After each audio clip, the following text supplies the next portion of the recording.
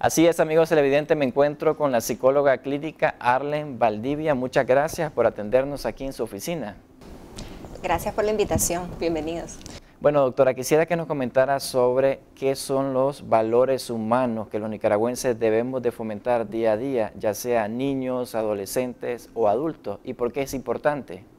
Bien, los valores son las creencias con las cuales vamos creciendo que nos ayudan a vivir en armonía dentro de una comunidad, dentro de la sociedad, dentro de la familia. Es importante que los padres desde muy pequeños, aparte de enseñarles la educación, también les enseñen la educación en valores. Bueno, doctora, ahora quisiera que nos compartieran nuestros amigos televidentes que nos están viendo en estos momentos cuáles son los cinco valores que debemos de fomentar en el hogar.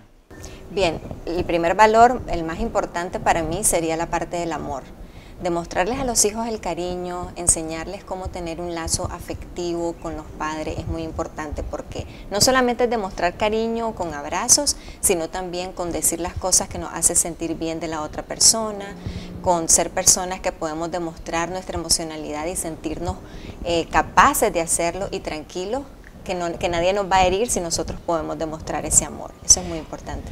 Bueno, y la tolerancia, doctora, podríamos decir que es un aspecto importante que hay que fomentar en nuestra familia, principalmente en la sociedad, que en estos momentos de crisis que hemos vivido, se necesita la tolerancia. Exactamente. De hecho, ese es uno de los valores más importantes, la tolerancia, el respetar lo que el otro siente y piensa y realmente hace porque no necesariamente todos pensamos iguales, todos somos diferentes y dentro de una familia, dentro de una sociedad van a haber siempre divergencias, pero tenemos que aceptar a la persona tal y como es, siendo tolerante ante sus decisiones y sus pensamientos.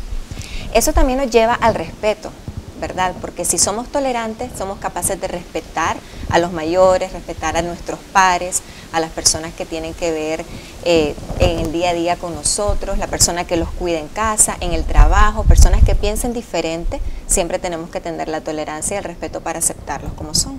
Bueno, a lo largo de los años los nicaragüenses nos hemos catalogado por ser honestos. ¿Se podría incluir la honestidad dentro de los cinco consejos que usted nos está compartiendo sobre los valores humanos que debemos de fomentar día a día? Exactamente, la honestidad es muy importante, pero saber cómo la hacemos, ¿verdad? Porque a veces por ser honestos podemos herir a las personas. Tenemos que ser muy asertivos en la manera de decir las cosas que pensamos, y más en el contexto en el cual estamos viviendo, ya sea dentro de la familia o dentro de la sociedad.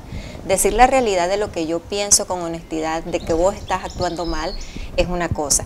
Decirlo de una manera agresiva, entonces ahí es donde ya caemos en, esos roces que se pueden estar dando en la actualidad o que se dan dentro de la familia, que uno dice, yo por ser honesto digo lo que pienso y no me importa lo que el otro eh, le haga sentir. Tenemos que tener respeto, y, pero siempre pues nunca dejar de ser honesto. Bueno, doctora, ya para finalizar esta entrevista hablando sobre el tema de los valores humanos que debemos de fomentar en nuestra sociedad y por supuesto en nuestra familia, ¿cuál es el punto número 5 que usted podría compartirnos en estos momentos? es la responsabilidad para mí dentro de la familia, es muy importante, ¿verdad? A cada uno en una familia tiene ciertas tareas y ciertas cosas que cumplir, pero como padres y como hasta en los mismos trabajos no puede ser, digamos, el jefe del hogar o la jefa del hogar irresponsables y pedir responsabilidad en los hijos. Y más con el tema, esto se da mucho con el tema de las tareas y en las clases, ya sabes, que siempre les piden buenas notas, esto, lo otro, pero el padre tiene que dar el ejemplo. Igual en el área laboral, creo que el jefe, ¿verdad?, el, el líder del grupo tiene que dar el ejemplo dentro de la responsabilidad y así tenemos un país más tranquilo, más armónico, una familia más armónica.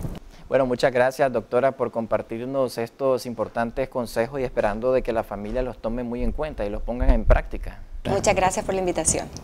Gracias por compartirnos todos estos consejos y así amigos televidentes llegamos al final de esta entrevista importante, los consejos que nos compartía la doctora Arlen Valdivia de que debemos de fomentar estos cinco puntos importantes para que tengamos en nuestra sociedad, también en nuestra familia, un ambiente de armonía, un ambiente de paz y un ambiente de estabilidad que a todos nos, nos favorece. De esta manera retornamos a estudio.